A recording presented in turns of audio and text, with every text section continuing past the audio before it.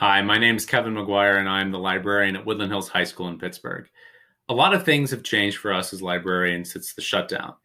And one of the things that I know my students were most looking forward to was an annual event that we do called a readathon. A readathon is a day where we have students come into the library and hear their teachers, other students, and community members read aloud parts of their favorite books.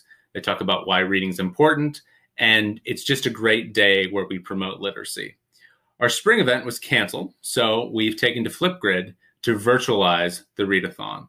So I have teachers and community members and principals reading excerpts of their favorite books on Flipgrid and talking about why reading is important to them.